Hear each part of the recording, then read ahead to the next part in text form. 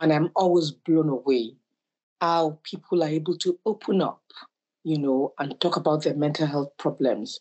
And um, one thing that I've learned over the years is that everybody, nobody's exempt, no matter how good, how, how good and shiny it looks on the outside.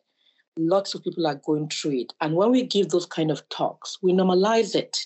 We remove yeah. the stigma and the shame. And people open up when they realize that I'm not alone.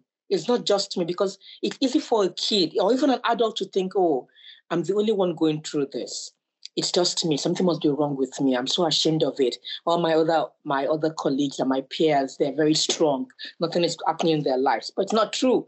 Just because they're not talking about it. So I think that's a good way of doing it. I mean, maybe if it's once a fortnight or once a month, have kids come to either do it by Zoom like we're doing now, or even meet up with the kids. Let's have a talk, you know, open discussion, like kind of thing. Somebody will give a talk, then throw the floor open and invite kids to talk. You talk about your own experience, or you bring an athlete, talk about his or her own experience.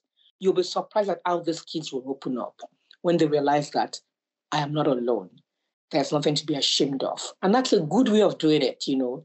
Bring somebody to talk. I mean, do you know that investment banks and Fortune 500 companies, they have in-house psychologists, sometimes psychiatrists, Uh, give regular talks to these people because they realize that for these adults to achieve their maximum potential at work, which will do the company good, they have to have intact mental health. So companies wow. are taking it seriously now. They pay for, for them to go to psychiatrists. Even psychiatric hospitals, we have therapists. We have an external counselor that will say, okay, this is independent from the hospital. Our staff can go there. As a psychiatrist, we are encouraged to have regular therapy, you know, even a psychiatrist, we are encouraged to do that regularly, you know. So I think it's a good thing. It's um it will have lots of benefits, not only for the kids, for them as athletes, but even for their for the for they're competing for, either the country or the club, you know. So I think it's a win-win situation if that is done. Some of the um some of the environments uh, around clubs or, or, be they sort of uh, training schemes, etc., don't necessarily encourage, uh, don't actively discourage, but they won't, you know, the, the, environment itself won't necessarily encourage parents to be be around all the time, be present at the sessions. There might not be, you know, public viewing areas, etc. So for me, uh, the key is actually if if a parent feels something that is not quite right, then we act on that. You know, for me, is if, if something doesn't feel right uh, about an arrangement that we've got, or something the child said something, our own children have said something that doesn't feel quite right, it's explore it with the child, and then actually, if it is if it is an issue, then actually explore it with the club because the club should be open. Any well-run club should welcome questions from parents uh, about the welfare of their own children. Um, yeah, I, you know, anything which actually, if if clubs are actively barring people from actually viewing what's going on, that for me would raise a red flag. Uh, those kind of things. So, but um, you know, there's a lot of pressure at the moment, um, uh, and a lot of pressure on governing bodies, quite rightly, to um, make sure that forbidden conduct, i.e., you know, harassment or humiliation of children, doesn't occur. Um, so the sport, you know, sports in general are going the right way to actually bring in those kind of, um, you know, mandatory reporting, for example, and those kind of measures to make sure that people do report. So there's a there's a really really strong thrust to to actually make sure that people do speak up, do communicate. Uh, I'm aware that there can be uh, parents can worry about you know upsetting a coach, upsetting you know if if there were questions about that coach's attitude or communication or ability, etc. But actually, you know, we need to speak up because uh, the problems start compounding themselves if we don't say something and we're just bystanders. Yeah, so the, the first session is what we call a needs analysis. So essentially asking lots of questions, getting to know that individual, getting to know wider factors around them so we can really build up a bigger picture to fully understand maybe why they're experiencing the reactions that they are and maybe where they're coming from. We have to be really cautious in psychology because I think especially with with youngsters when they hear the word psychology they can freak out they can feel like we might be trying to read their mind or laying them down on a chaise long and delving into their deepest and darkest memories. And we really like to get across that sports psychology isn't about that. We're trying to help you perform better and enjoy it more at the same time.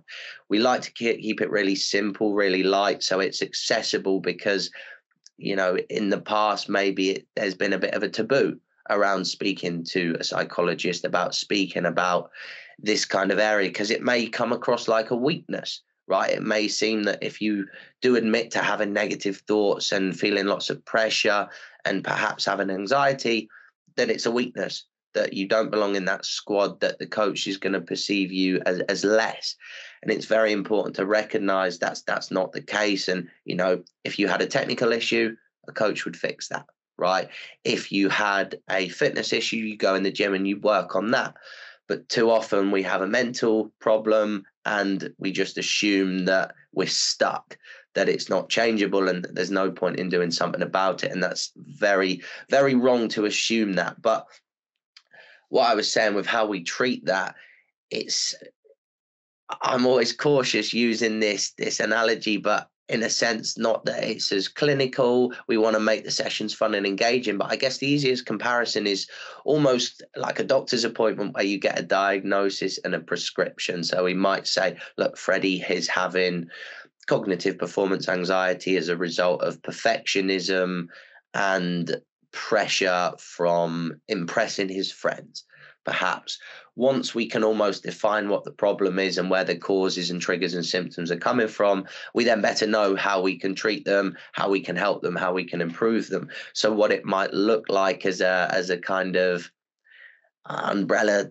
term to kind of what what we generally do with performance anxiety is we look at what their intentions are, what the expectations and the pressure they're placing themselves under are. So, a lot of the time with performance anxiety, we see what we call what I like to call psychological swear words. So, words like need, must, have to, should, right? They place this almost metaphorical backpack of pressure on us just by the language we use. And sometimes coaches use this language as well without knowing. You know, you need to perform well, we must get a PB their intentions are great, but sometimes this this does pile on the pressure. Once we look at kind of the the preconditions that an individual might be setting themselves, it's important to set them up with a framework so they understand and have something to fall back on on how to deal with their thoughts, where they might target that, what they might actually do in them situations, because it's all well and good about talking about the anxiety and figuring out what's going on and the causes and triggers ultimately it's going to show up and often in the worst times. So it's very important to understand and have almost a mechanism and a, a, plan in place of how you're going to deal with them thoughts, how you're going to deal with that physiological reaction, how you're going to deal with some of them adverse avoidance behaviors that come. I think the main thing for all sports is that often they are reactive rather than being proactive. So we see abuse in football from 2016 17 onwards. But then we have to wait a number of years to see the abuse in gymnastics issue come out. And then more recently, abuse in swimming. Next year, it'd be abuse in cricket and some other sports. Sports should be proactive and should be learning from others where they failed or there's been issues. That's the first thing which should change. Secondly, is independence and transparency is so key because if there's been a breakdown in trust, if someone suffered abuse, to expect them to trust that same institution which failed them initially, to then do the right thing and to investigate and to punish their abusers, it isn't going to happen. It doesn't happen without that kind of support and therapy coming from an external body. So I think that those are some of the key things be proactive, be independent, be transparent, and always put the athlete first. They must be the paramount concern because without the athletes, there is no sport. I've experienced bullying and it was a difficult time for me.